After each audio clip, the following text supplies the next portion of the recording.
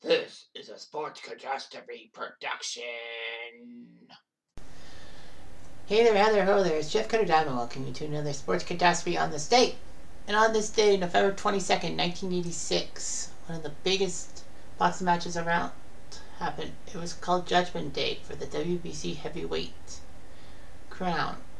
It would be huge. Berbick versus Tyson from Las Vegas, Nevada at the Hilton.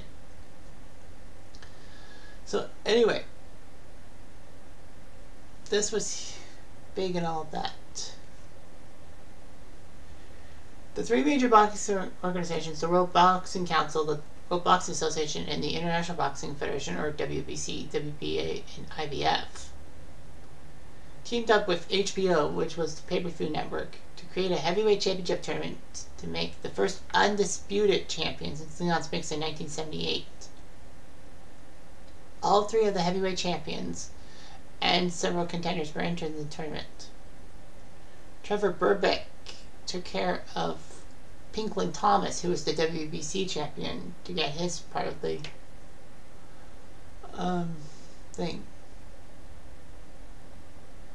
But his first WBC defense would be against Mike Tyson, who was sensational 27 0 with 25 victories by knockout. Tyson had already fought 12 times in 1986 and took care of Alfonso Ratliff. So Trevor Berbick was an icon at age 32.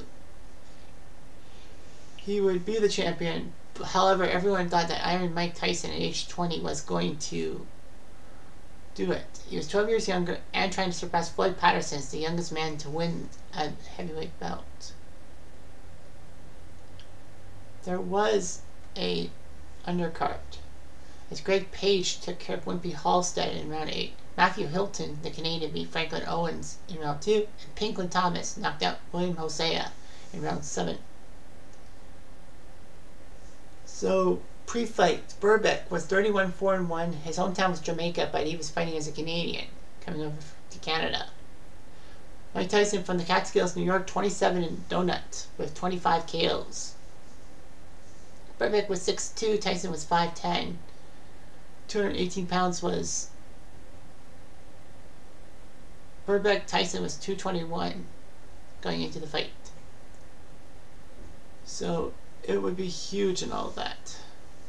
From the opening bell, Tyson would be aggressive, taking Berbick on with several powerful punches. Tyson would have a four-punch combination that sent Berbick across the ring. Fortunately, Berbick stayed on his feet. But Berbick would get hit hard. and All that. Round two, Tyson picked up where he left off. Dropped the champion. Fortunately, Berbick was able to answer the count.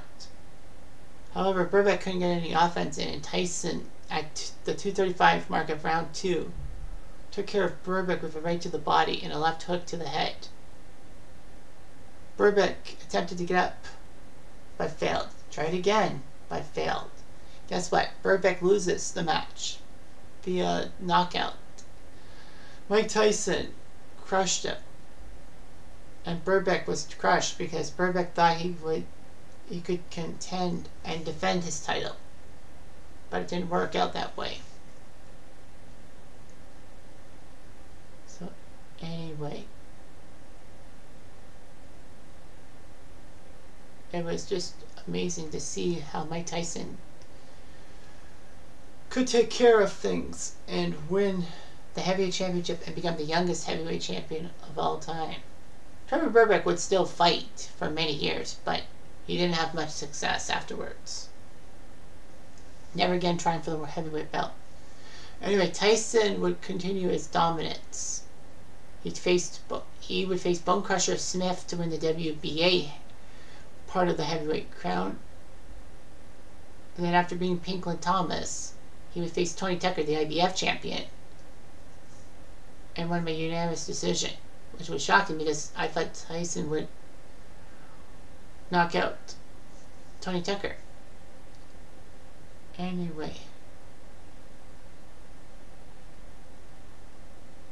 You know, it was a huge thing to see Berbick versus Tyson and see Tyson at 20 years old become a heavyweight champion of the world, which is just shocking. I mean, like, you know, at 20 years old, you're just getting into your boxing career, but then Tyson just went balls out and KO'd Berbick and took one third of the heavyweight belts, winning the other two belts later on in life. So, you know, Tyson's era was there. Berbick's had just ended. That's not nice at all.